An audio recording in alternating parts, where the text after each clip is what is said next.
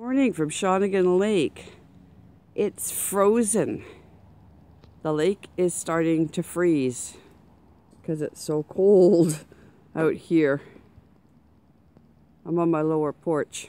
when I say I'm suspended above the water, I'm suspended above the water. my bedroom is here and it's suspended above the water. Old boathouse, what can you say? So they're already spraying with the chemtrails. So they're going to bring in, a, we're meant to be getting a snowstorm. So they're going to bring in their nucleated snow. Um, wow, it's cold. I got up this morning and all of my hummingbird feeders were frozen solid. So I just finished thawing all of the feeders and getting them all put out. Pretty, huh? Look at that. So pretty. Shawnigan Lake. December 5th, 2017. It's starting to freeze.